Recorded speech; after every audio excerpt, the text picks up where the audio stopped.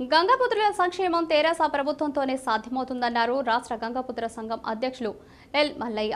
గంగాపుత్రుల సంక్షేమం కోసం కృషి చేస్తున్న సీఎం కేసీఆర్కు గంగాపుత్రులు అండగా నిలవాలని పిలుపునిచ్చారు. కరీంనగర్ జిల్లా జమ్మిగుంటలో తెలంగాణ ప్రదేశ్ గంగాపుత్ర సంఘం ఆధ్వర్యంలో ఇంటింటి ప్రచారం నిర్వహించారు. ఈ కార్యక్రమానికి రాష్ట్ర గంగాపుత్రుల సంఘం అధ్యక్షులు ఎల్ మల్లయ్య ముఖ్య అతిథిగా హాజరై గంగాపుత్రుల ఇంటింటికి వెళ్ళి ప్రచారాన్ని చేపట్టారు.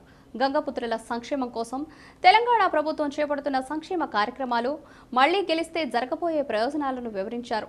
సీఎం కేసీఆర్కు మద్దతు తెలిపి తెరాస అభ్యర్థి గెల్లు శ్రీనివాస్ను గెలిపించాలని ఆయన కోరారు.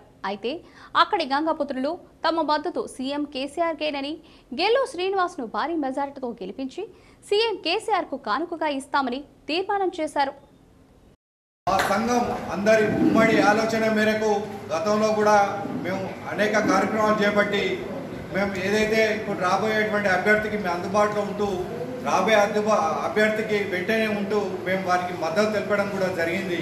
అదేవిధంగా మా అధ్యక్షుడైనటువంటి ఏల్ మల్లయ్య గారు ఈ సంఘంతో పనిచేస్తూ అదేవిధంగా ఎన్ని ఎలక్షన్లలో మేము కూడా సపోర్ట్ చేసి వారికి అండగా ఉంటామని చెప్పి దాదాపుగా రెండు రోజులుగా హుజరాబాద్ కానీ చెల్పూరు కానీ కూరపల్లి కానీ కనీసం మాకు ఏం చేసినా ఏం చేయకపోయినా మేము అండగా ఉంటాం. ప్రభుత్వం కూడా మాకు అండగా ఉండాలనేటువంటి వారి ఆదేశాల మేరకు మేము టీఆర్ఎస్ ప్రభుత్వానికి మద్దతు తెలుపుతూ అదేవిధంగా ప్రతి ఇంటికి ఇంటికి ప్రతి కుటుంబాన్ని వారు కలుసుకుంటూ గడప గడప దొరుకుతూ గంగపుత్రులంతా టీఆర్ఎస్ పార్టీగా ఓటేసి రాబోయే కాలంలో గెలిపించాలి.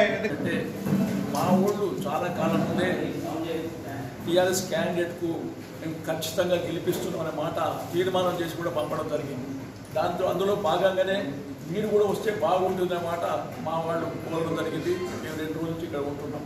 దాంతోపాటు మీకు తెలిసిన సంగతి మన తెలంగాణ ప్రభుత్వం వచ్చిన తర్వాత నాకులో నీకులో అనకుండా ఈ రాష్ట్రంలో ఉన్నటువంటి వెనుకబడ్డ వర్గాలు బలహీన వర్గాలు వాళ్ళకి అందుబాటులో అన్నీ కూడా చేసుకో అన్నీ చేయి చేయాలని ఇంకా ఉన్నాయి.